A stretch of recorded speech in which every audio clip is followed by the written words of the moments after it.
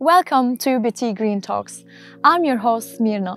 I've always been passionate about nature and being outside, but my interest and curiosity for sustainability have extremely grown, especially during my master's in global food, nutrition and health at the University of Bayreuth.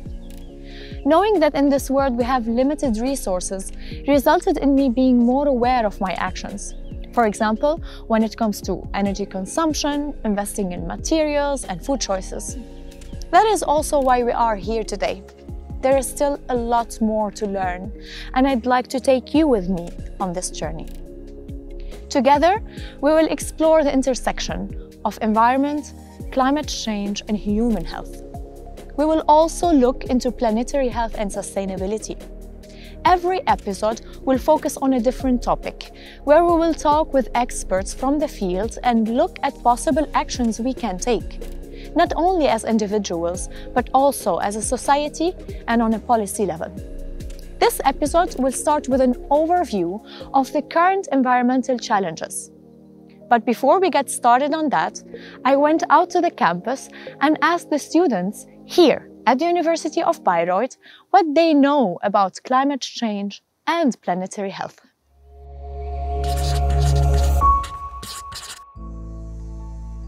Planetary health? Yes. Mm, planetary health. Uh, you mean the health of the planet? well, everything we do, we get from the planet, right? So if the planet is not healthy, that, uh, that affects a lot of our daily things.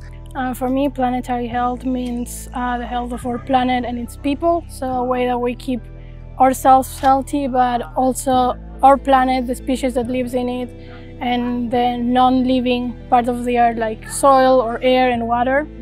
I think that climate change is one of the most important questions right now. And um, especially we as humans have a big impact on it. I also think that it's getting worse and that maybe right now not enough is being done. I think that climate change is a problem worldwide. So it has been producing a lot of uh, changes in the weather. For example, we can see that now the weather is uh, really different from what it, from what it was uh, in the past. Mm -hmm. I think everyone knows like the basic information shared in like the news about how the nature and animal life is changing with like the climate change and how it like forces animals to leave their natural habitat because the, for example, water temperature is rising and then the coral reefs are dying because of the stress they have because of the rising temperature of the water. To have a better understanding of the environmental challenges, I spoke with Professor Nagel, the moderator of the master's program Environment, Climate Change and Health at the University of Bayreuth. Professor Nagel has a doctorate in medicine and philosophy and since 2001, he has been the managing director of the Institute for Medical Management and Health Sciences. I've asked him to provide us with an overview of the various human activities that are negatively impacting the environment.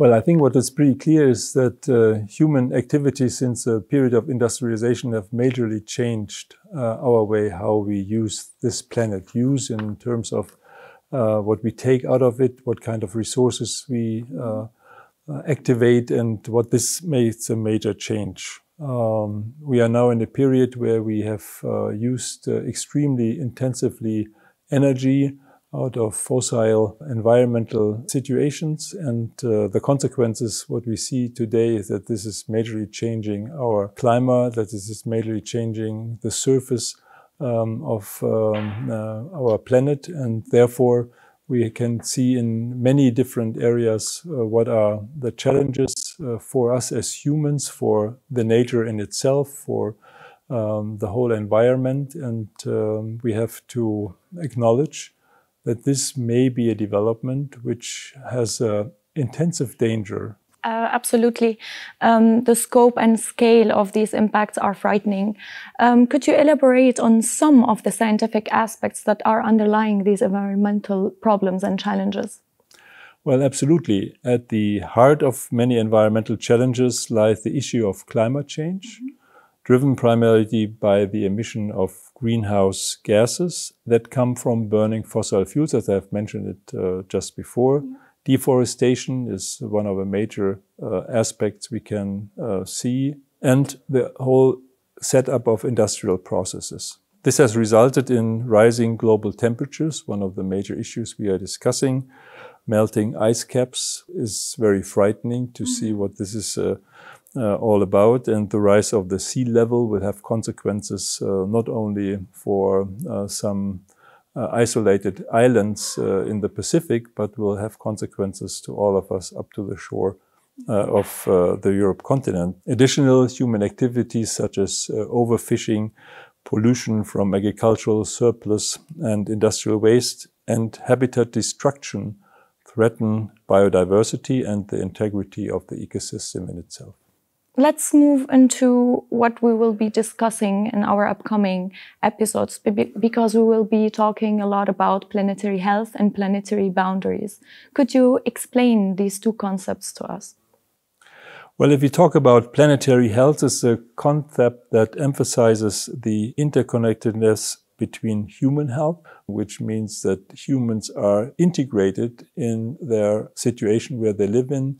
So the health of humans is at the same time the health of the planet natural system, and therefore we call it planetary health. It recognizes that human well-being is closely linked to the state of the environment and uh, the functioning of the ecosystems.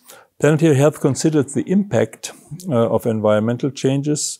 In terms of climate change, we have discussed about heat as a threatening uh, example of how human health can be endangered. Biodiversity loss has consequences for us we talk about the situation that there are many skin or other diseases which uh, uh result uh, through allergies, uh, which are connected uh, again to biodiversity situations. Um, and pollution, certainly, if we talk about polluted air, we have a rising situation of uh, lung cancer all over the world.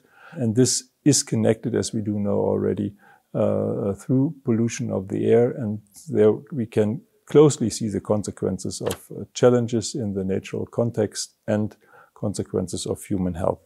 So in, um, we could continue to water, we could continue to food, and uh, all this has uh, implications to human health. And therefore we see that planetary health um, has a very broad uh, connection between the different living situations towards the aspect of human and natural health. Any more clarification to the concept of planetary boundaries and what practically this term refer to? Well, planetary boundaries, as you mentioned it, uh, set, uh, a set of nine critical environmental thresholds. If they are crossed, they could lead to irreversible and abrupt environmental changes, jeopardizing the stability of the Earth system in itself. And if we talk about today, situations where we have so-called tipping points. We are afraid that there might be a situation coming back to melting of ice in the Antarctic.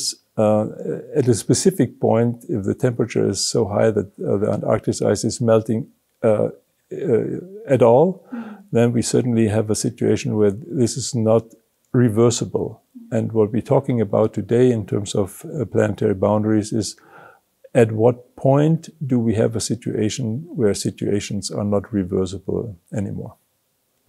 By now, the word sustainability has been mentioned a few times. But what is, in fact, sustainability? Let's also have a look at how the students define sustainability for themselves. Sustainability, what I think about, is more of something that can be that can be done every year, something that can be sustained over years, something that doesn't end. Like, for example, when we have oil and petrol in the car, it's sustainable because it's going to end, right? Sustainable, it's something that's going to be there over and over and over. I guess it's mostly the um, um, that you have this uh, this energy source that doesn't produce much more carbon emissions while still producing energy. The sustainability is that we um, use our resources um, effectively, so we, that we don't produce as much waste maybe that we do. To me, in a sentence, it means taking care of our environment, basically. It, it means that for, would we be able to keep on doing the things that we are doing today, you know, in say 10 years, 100 years, in a thousand years to come, you know, it's a question we should ask ourselves. If we can drive a car today healthy, can we do the same thing in 100 years? Maybe, you know, our children's children will not find that the same conducive environment. So being sustainable means that being able to still enjoy our lives and, you know, doing it in a way that lasts for a longer time. Actually, our students' perception is not too different from what the United Nations Commission defines sustainability. They define it as meeting the needs of the present without compromising the ability of future generations to meet their own needs. To address the global challenges we are facing and ensure a more sustainable future for all, the UN Agenda aims to achieve 17 Sustainable Development Goals by 2030. Additionally, to have a better grasp of how sustainable and climate friendly the students at the University of Bayreuth consider themselves, I asked them what they are already doing to help mitigate climate change, in addition to what they consider should be done. A lot. a lot. By being conscious, consciously making efforts, you know, to ensure that we do not really um, pollute our environment. Where I come from in Ghana, uh, people actually use polythene bags and they leave it and it chokes gutters and it causes flooding. You know, we have drainage issues. And in the end, uh, we've seen people that there have been, you know, casualties, people have died. And I think that we need to take personal responsibility because we all are at risk. And also reducing consumption, for example, mainly in Europe and USA. So we are using a lot of things and we don't really need them. So we just should reduce them so we don't need the energy to build these things. I took the train or the bus wherever I can because I have a car but I do not really use it often. For me it's clothing personally so I try to wear the clothes even longer so don't go after seasons, don't go after like fast fashion stuff like that. It's not only like recycle but also be conscious about what we do. Mm, I think we as individuals cannot do so much. Like it's nice if you go vegan or uh, try to not take the plane or something, but I think that uh, especially politics, like they have to do more. Uh, join a movement or an action or change a habit or you can do even other stuff like trying to change laws or talking to governments and administrations, as well as in education with children or adults even that might need help learning about that stuff. These were very inspiring thoughts from our students. Let's continue with what Professor Nagel advised us in terms of potential solutions and actions to address these environmental challenges. Well, first of all, I'm very positive and I'm uh, convinced that uh, humans who have now brought us into a difficult situation that we are uh, have the capacity to challenge that. But to address these complex changes, we must adopt the multi-faceted approach to incorporate both mitigation and adaptation strategies. Mitigation efforts involve reducing greenhouse gas emissions through the transition to renewable energy, Improving energy efficiency is a very important uh, aspect and implementing sustainable land uses practices such as reforestation as sustainable agriculture. Adaptation measures focus on building resilience to the impacts of climate change, protecting vulnerable ecosystems, and promoting ecosystem-based approaches to disaster risks reduction. Those are steps we can take. Great, great to know that the, there's still hope uh, and a possibility to act and make a change. Um, are there any other possibility to approach these challenges than from an individual level? Well, I think absolutely. Uh, in addressing these environmental challenges, we can act and on different levels. And there we differentiate between a micro level, which means us as individuals, we can do something a so-called meso level, for instances on the community level, mm-hmm. and finally on a macro level, such as policy making. If we all work together, I think it's obvious that we then maybe have a chance to challenge. It's essentially to engage stakeholders from diverse backgrounds and disciplines, including policymakers, scientists, as we are here at the university, businesses and civil society, to develop and implement effect solutions for a global scale. Thank you very much for your valuable insights. Are there any take-home messages that you would like to share with us today? Well, achieving a global and or planetary health um, necessitates global cooperation. I think that's a very important aspect. And therefore, my major uh, engagement would be to really work together, to communicate with each other, and to try by giving us uh, understanding that we are not alone, that we are really a community. Great message.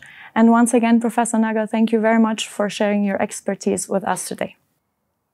As a last question, I find it very interesting to know how the students at the University of Bayreuth imagine a greener future. I guess a green future would be to, to say, to, to live in harmony with, with the nature and the surroundings and not to be such an impact on the other nature, animals and other people and, well, places. Well, I think about green energy, like yes. uh, with wind, with solar mm -hmm. systems, with water. Going green for me is also producing as little waste as possible. Also increasing like planting trees for mm -hmm. the CO2. Uh, we should uh, uh, live very simpler.